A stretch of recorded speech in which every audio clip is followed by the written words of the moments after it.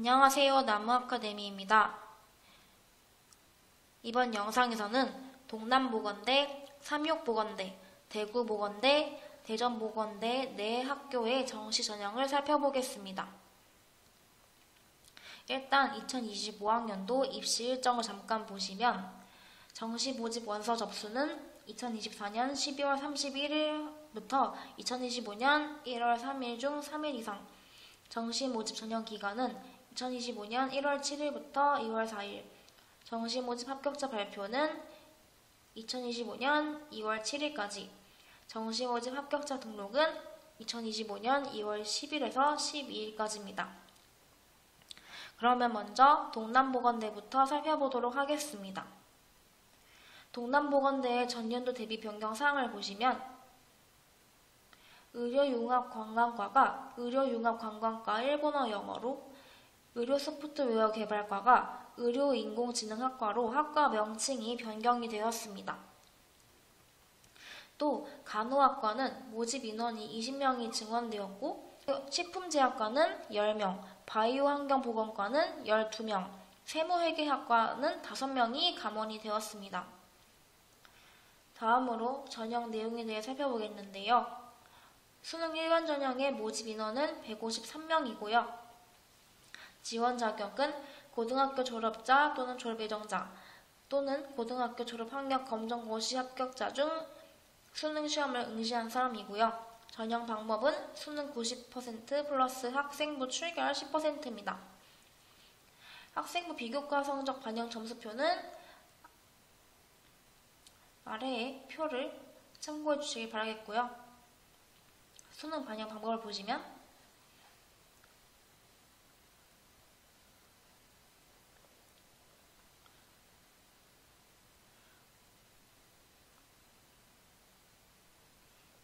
동남보건대는 국어, 수학, 영어, 탐구 중 최우수 두 개 영역 100분위 점수를 반영합니다.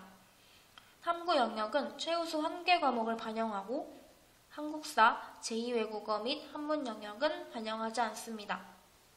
또한 영역별에 따른 가중치나 가산점도 없으니 참고하시기 바랍니다. 전년도 입시 결과를 보시면 최종 등록자 수능 점수, 대학 환산 점수 평균이 가장 높았던 모집 단위는 방사선학과 831이었고요. 최종 등록자 수능 점수, 대학 환산 점수 평균이 가장 낮았던 모집 단위는 유아교육학과 616.37이었습니다. 전체적으로 봤을 때 동남보건대 최종 등록자 수능 점수는 대체로 600점대 후반에서 800점대 초중반이 나왔으니 참고해 주시기 바랍니다. 다음으로 36보건대 살펴보겠습니다. 우선 전년도 대비 변경사항을 보시면 전문대학 이상 졸업자 전형 지원 자격이 일반 대학 4년제 2학년 이상 수료자에서 4년제 2학년 수료자로 변경된 부분이 있습니다. 이 외에 학과가 신설되고 외국인 모집 관련해서 변경 사항이 있으므로 참고해 주시기 바라겠고요. 다음은 전형 내용에 대해 살펴보겠습니다. 모집 인원은 58명이고요.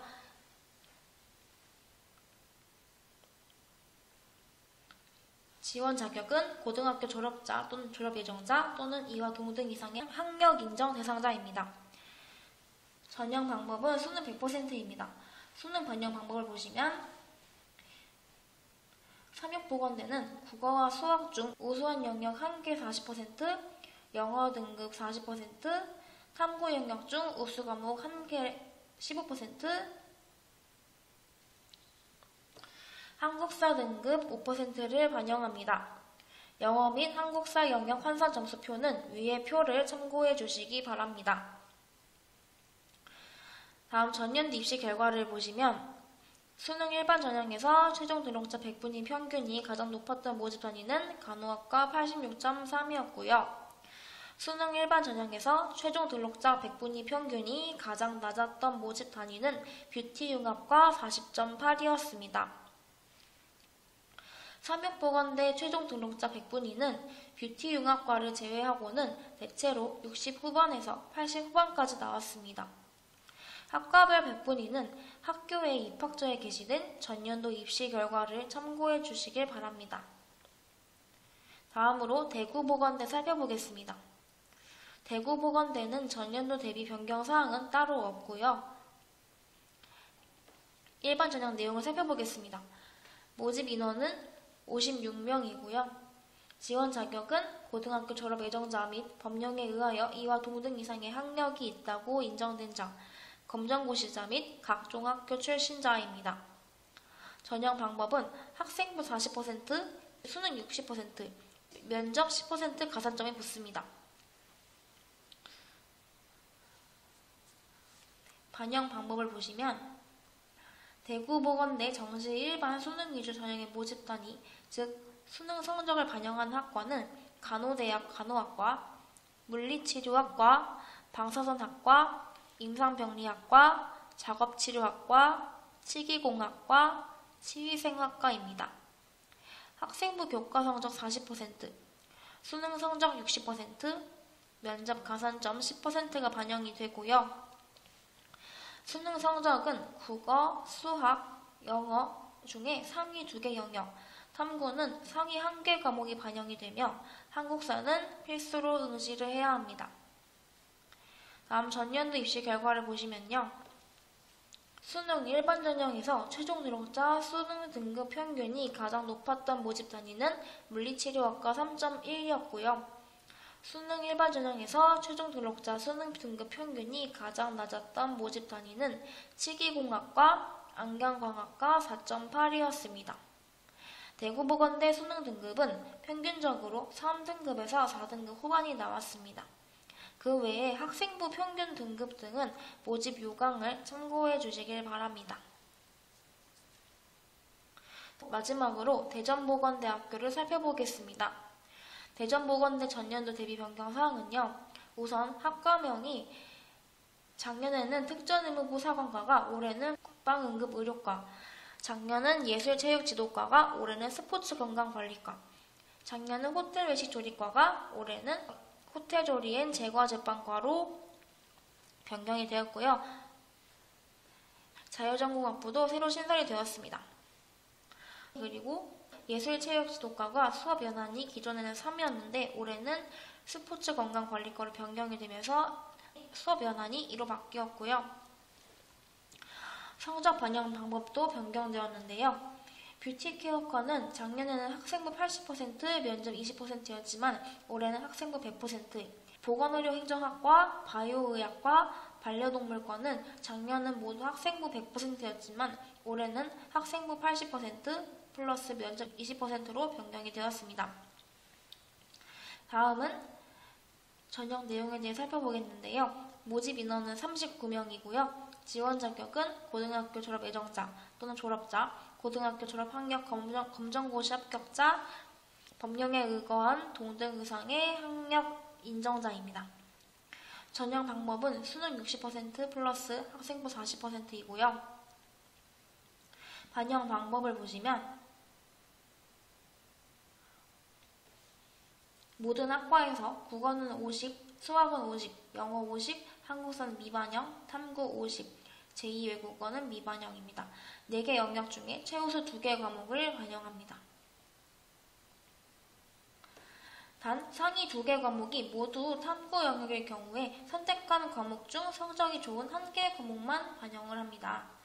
영어 등급 환산 점수표를 보시면 1등급은 95, 2등급은 85, 3등급은 75, 4등급은 65, 5등급은 55, 6등급은 45, 7등급 35, 8등급 25, 고등급은 15점입니다. 학생부도 보시면 1학년에서 3학년 1학기 총 5학기 중 최우수 2개 학기가 반영이 됩니다. 진로 선택 과목은 반영하지 않고요. 다음 전년도 입시 결과를 보시면 수능 일반 전형에서 최종 등록자 수능 100분위 평균이 가장 높았던 모집 단위는 물리치료과 78.7이었습니다. 그리고 수능 일반 전형에서 최종 등록자 수능 100분위 평균이 가장 낮았던 모집 단위는 의료 경영과 45.1이었습니다. 전체적으로 대구보건대 인기 학과인 간호학과, 물리치료과, 방사선과 등은 수능 100분위가 70에서 79 정도가 나왔습니다. 그 외에 학생부 평균 등급 등은 모집 요강을 참고해 주시기 바라겠습니다. 지금까지 동남보건대, 삼육보건대, 대구보건대, 대전보건대를 살펴봤는데요. 요약을 하자면 동남보건대 모집 인원은 153명, 전형 방법은 수능 90% 플러스 학생부 출결 10%였고요. 최종 등록자 수능 점수는 대체로 600점대 후반, 800점대 초중반이 나왔습니다. 삼육보건대 모집 인원은 58명이었고요. 전형 방법은 수능 100%로 국어, 수학 중 우수 영역 1개 40%, 영어 등급 40%, 탐구 영역 중 우수 과목 1개 40%, 한국사 등급 5%를 반영합니다.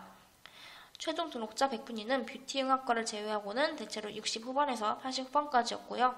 대구보건대는 모집 인원 56명에 전형 방법은 학생부 40% 플러스 수능 60% 플러스 면접으로 가산점 10%가 붙었습니다. 수능 성적을 반영하는 학과는 간호대학 간호학과, 물리치료학과, 방사선학과, 임상병리학과, 작업치료학과, 치기공학과, 치위생학과이며 수능 성적은 국어, 수학, 영어 중 상위 2개 영역, 3구는 상위 1개 과목을 반영하고요. 한국사는 필수 응시하여야 합니다. 대전보건대 모집 인원은 39명이고 전형 방법은 수능 60%, 학생부 40%로 상위 2개 과목의 100분위 평균 점수를 반영합니다. 지금까지 동남보건대, 삼육보건대, 대구보건대, 대전보건대에 대해서 알아봤는데요. 추후 변경되는 내용이 있을 수도 있고 이 글에 생략된 내용이 있을 수도 있기 때문에 자세한 내용은 반드시 각 학교의 입학처 홈페이지를 통해서 확인해 주시기를 바랍니다. 정시 전형 칼럼은 나무 아카데미 블로그 및 홈페이지에서 확인하실 수 있습니다.